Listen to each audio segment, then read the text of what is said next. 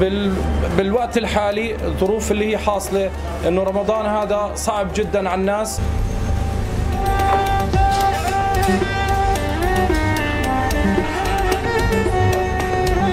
يعني محلات الحلويات أصدقاء اللي نفس الشيء نازل عندهم الوضع يعني الوضع الاقتصادي تبع المواطن أو جبت الأردن مش مش زي أول مليان.